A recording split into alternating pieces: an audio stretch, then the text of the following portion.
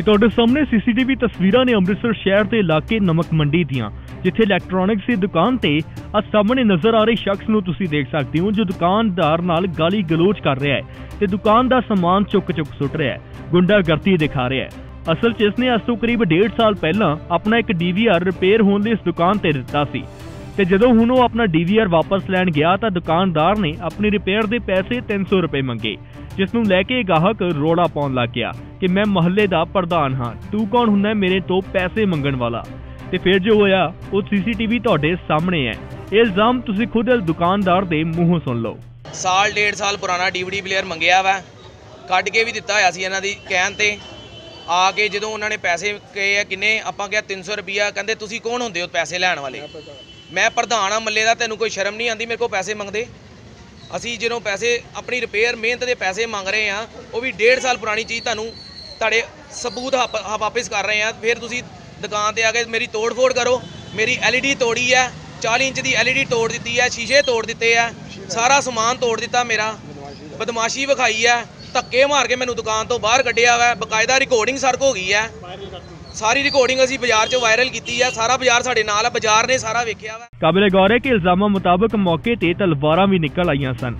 ਉਤੇ ਇਸ ਮਾਮਲੇ ਤੇ ਸੀਸੀਟੀਵੀ 'ਚ ਗੁੰਡਾਗਰਦੀ ਕਰਨ ਵਾਲੇ ਪ੍ਰਧਾਨ ਸਾਹਿਬ ਨੇ ਕਿਹਾ ਕਿ ਕਿਸੇ ਗੱਲ ਨੂੰ ਲੈ ਕੇ ਉਹਨਾਂ ਦਾ ਬੀਪੀ ਵੱਧ ਗਿਆ ਸੀ। ਉਹ ਚਪੇੜ ਵੀ ਮਾਰ ਸਕਦੇ ਸੀ ਪਰ ਸਿਹਤ ਨੂੰ ਦੇਖਦੇ ਨਹੀਂ ਮਾਰੀ। ਉਹਨਾਂ ਨੇ ਮੇਰੀ ਸ਼ਾਨ ਦੇ ਖਿਲਾਫ ਕੁਝ ਕਿਹਾ। ਐਡੀਆਂ ਭੈੜੀਆਂ ਜੀਆਂ ਗਾਲਾਂ ਕੱਢੀਆਂ ਤੇ ਮੇਰਾ ਵੀ ਥੋੜਾ ਬੀਪੀ ਬੂਸਟ ਹੋਇਆ। ਖਾਣੀ ਡੱਬੇ ਬਾਹਰ ਪਏ ਸੀ। ਮੈਂ ਖਾਣੀ ਡੱਬੇ ਚੁੱਕ ਕੇ ਅੰਦਰ ਸੁੱਟੇ ਕਿ ਥੋੜਾ ਬਹੁਤਾ ਇਹ ਚੁੱਪ ਹੋਵੇ। ਮੈਂ ਉਹਨੂੰ ਚਪੇੜ ਵੀ ਮਾਰ ਸਕਦਾ ਸੀ। ਮੇਰੇ ਤਾਂ ਬੱਚਾ ਸੀ। ਲੇਕਿਨ ਮੈਂ ਚਪੇੜ ਆਪਣੀ ਤਬੀਅਤ ਨੂੰ ਵੇਖਦਿਆਂ ਨਹੀਂ ਮਾਰੀ ਕਿ ਮੇਰਾ ਵੀ ਬੀਪੀ ਬੜਾ ਮਿੰਟ ਚ ਆਈ ਉਤੇ ਇਸ ਮਾਮਲੇ ਨੂੰ ਲੈ ਕੇ ਪੁਲਿਸ ਨੇ ਵੀ ਆਪਣੀ ਬਣਦੀ ਕਾਰਵਾਈ ਸ਼ੁਰੂ ਕਰ ਦਿੱਤੀ ਹੈ। ਇਹ ਰੋੜੇ ਦੇ ਕੋਲ ਰੱਖੀ ਸੀਗੀ। ਉਹ ਕਾਫੀ ਚਿਰਾਂ ਬਾਅਦ ਉਹਨੇ ਪੁੱਛੀ ਆ ਉਹ ਜਗ੍ਹਾ ਉਹਦੀ ਆ ਦੁਕਾਨ ਦੇ ਵਿੱਚ ਕਾਫੀ ਸਾਰਾ ਹੈਗਾ ਸਮਾਨ ਜਿਹੜਾ ਉਹਦਾ ਪਿਆ। ਉਹ ਕਹਿੰਦੇ ਮੇਰੇ ਕੋਲ ਟਾਈਮ ਲੱਗਣਾ। ਕੋਈ ਪੈਸੇ ਕੋਈ ਦੀ ਗੱਲ ਕਰਦੇ ਸੀਗੇ ਵੀ ਇੰਨਾ ਕੁ ਪੈਸੇ ਦੇ ਦੇ ਮੈਂ ਲੱਭ ਕੇ ਤੈਨੂੰ ਦੇ ਦੂੰਗਾ। ਉਹ ਤਾਂ ਇਹਨਾਂ ਦਾ ਤਕਰਾਰ ਹੋ ਗਿਆ। ਮੌਕੇ ਤੇ ਮੈਂ ਪਹੁੰਚਿਆ। ਮੌਕੇ ਤੇ ਜਾ ਕੇ ਦੋਨਾਂ ਪਾਰਟੀਆਂ ਨੇ 2 ਵਜੇ ਦਾ ਟਾਈਮ ਦਿੱਤਾ। ਅਸੀਂ ਜਿਹੜਾ ਬੱਬੂ ਆ ਮੁੰਡਾ ਜਿਹੜਾ ਜਿਹਨੇ ਤਕਰਾਰ ਕੀਤਾ ਉਹ ਉਹਨੂੰ ਪੇਸ਼ ਕਰਦੇ ਹਾਂ ਇਹ ਦੋਨਾਂ ਮਤਲਬ ਦੋਨਾਂ ਪਾਰਟੀਆਂ ਨੇ ਇਕੱਠੇ ਮਤਲਬ ਇਹ ਫੈਸਲਾ ਕੀਤਾ।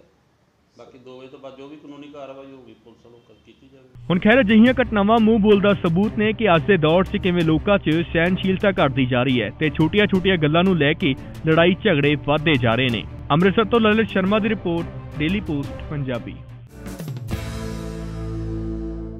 ਕੀ ਤੁਹਾਡਾ ਵੀ ਕੈਨੇਡਾ ਦਾ ਵੀਜ਼ਾ ਰਿਫਿਊਜ਼ ਹੋ ਚੁੱਕਾ ਹੈ? ਜਾਂ ਤੁਹਾਡੇ ਆਇਲਟਸ ਵਿੱਚ ਘੱਟ ਬੈਂਡ ਕਰਕੇ ਤੁਹਾਡਾ ਕੈਨੇਡਾ ਵਿੱਚ ਦਾਖਲਾ ਨਹੀਂ ਹੋ ਪਾ ਰਿਹਾ?